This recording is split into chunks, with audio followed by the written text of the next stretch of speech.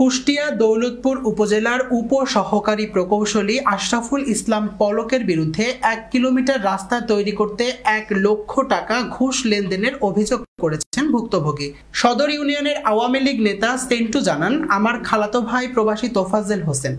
সে অনেক আগে থেকে প্রবাসে থাকে। তার নিজ গ্রাম আড়িয়া ইউনিয়নের পাককুলা।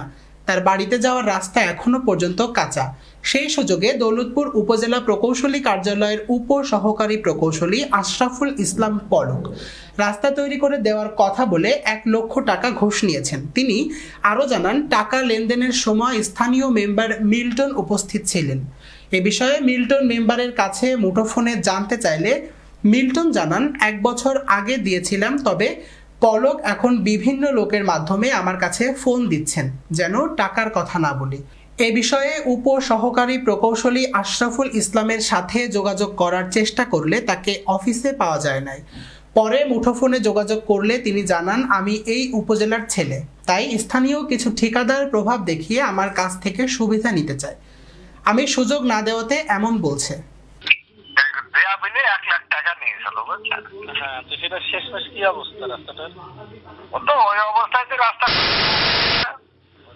কতদিন আগে নিয়েছে ও তো বছর খানিক হয়ে গেল।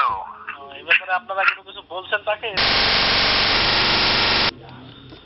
ওনার সাথে কথা হয়েছে আমার সাথে কথা হয়নি বুঝতে পারছেন? ওই মিল্টন মেম্বার আর আমার এই খালাইতি ভাইরা ওদের দুজনের হাত দিয়ে নিয়েছিল বুঝছেন জি জি এই হচ্ছে কাহিনী কত টাকা নিয়েছিল এক লক্ষ। এক লক্ষ আমার বক্তব্য এটাই আর একটা ঠিকাদার যারা সুবিধা পাচ্ছে না কাজের আমি আমার বক্তব্যটা আরও ক্লিয়ার করে বলি এখানে মাননীয় সদস্য মহোদয় আপনার হচ্ছে তারা হচ্ছে তার বক্তব্য যে আমার দৌলতপুর উপজেলায় কোনো কাজ খারাপ কাজ হওয়া যাবে না। সংসদ সদস্য হওয়ার পরে প্রথমেই এসে আমাদের সঙ্গে ব্যাপারে বসছিল এবং বলতেছে